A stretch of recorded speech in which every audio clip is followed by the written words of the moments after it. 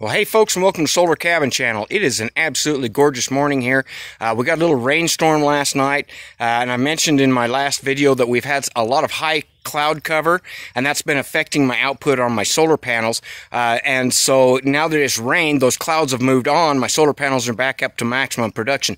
But I was also going to show you because I put up a couple of extra panels to run my swamp cooler because it's been so hot.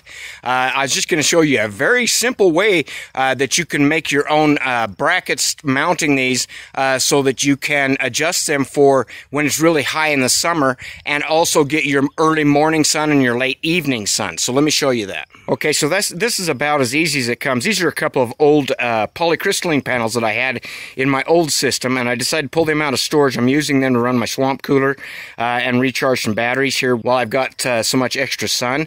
And so uh, what I've done is you can see that they're they're tipped towards the morning sun.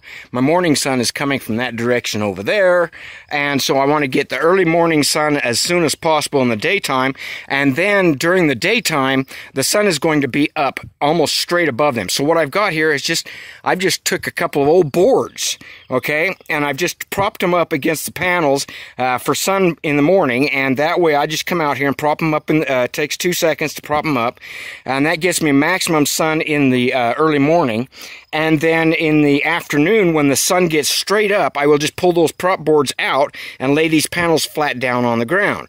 Then for about four or five hours during the brightest part of the day, uh, the sun is directly shining down on them flat. And then I just move those prop boards over to the other side, angle them the other way to get the evening sunlight. So that way I only have to move them uh, twice a day, and uh, that way I get the uh, maximum amount of sunlight all through the all through the day.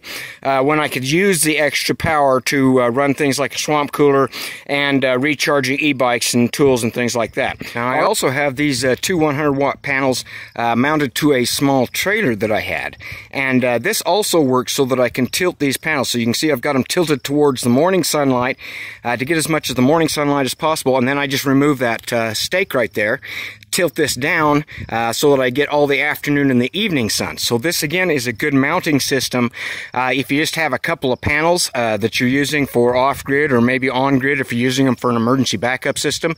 Something like this is easy to make and, and uh, really get you the most uh, out of your solar panels and in fact this 200 watt system here because I can uh, position it so it's getting sunlight all of the time, all the day, uh, it actually produces as much as my 400 watt systems, which you can see out there. Because those are stationary mount and can't be changed in the way they're angled uh, in their placement. They're set to that position.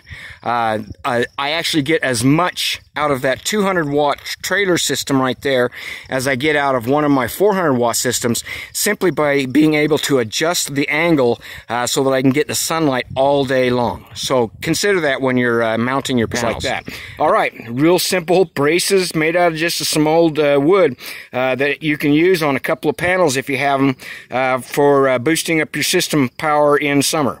Okay, hope you enjoyed this video. Have a great day.